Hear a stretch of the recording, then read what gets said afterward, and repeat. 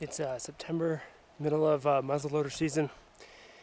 I'm uh, out here northwest Colorado looking for bear. Got a muzzleloader tag. Got four days. This evening I got five, so just got into the area. Got my uh, CVA Accura. Uh, Badlands back. With, of course, my Vortex optics. Vortex makes the best optics in my opinion. Alright, hope I get it on film.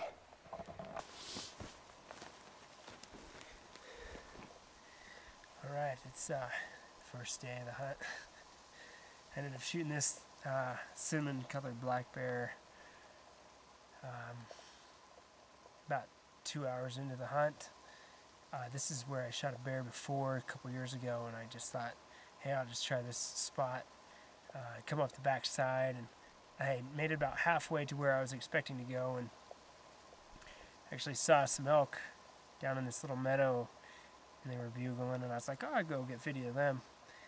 And then, uh, and then all of a sudden they were quiet, and I was like, okay, that's kind of odd. So I kind of hiked down there, and I saw this guy didn't get a shot so I waited for a bit and then started going up into where he was at and heard something, you know, running through the brush. And uh, I could see the bear going back and forth. And I got up to a point I could see it looking right at me uh, through the brush. I was about to pass by it, and I looked to my left, and there he was. And I ranged him at 14 yards.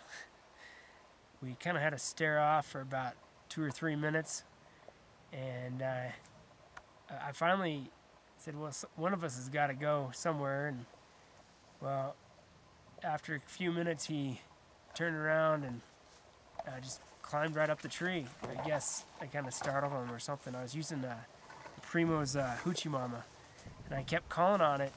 I don't know. He just didn't know what to think of me.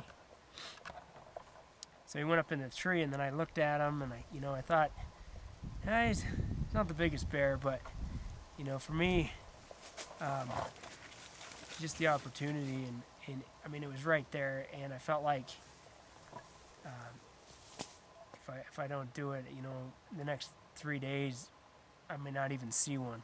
I was waiting. He was looking right at me. I was waiting for him to turn or something on the tree because I, I only had, you know, a front shot, and I didn't want to take that because uh, I thought I'd hit the shoulders and I didn't want to piss him off too bad. I, I can reload in about 20 seconds.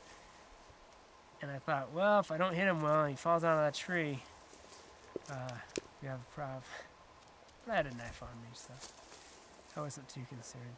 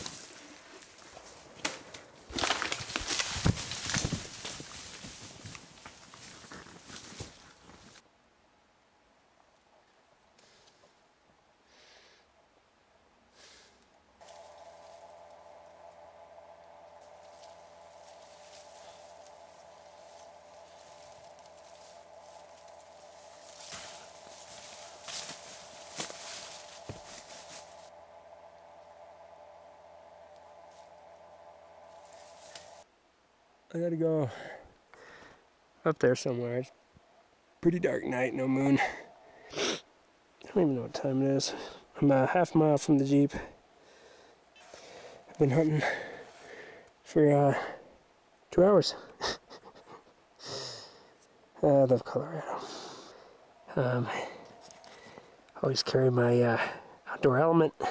Actually might have to uh, use that packed the, the hideout so I can get it salted and the tenderloins and tomorrow morning I'll go back. I got the quarters all hanging up in a tree.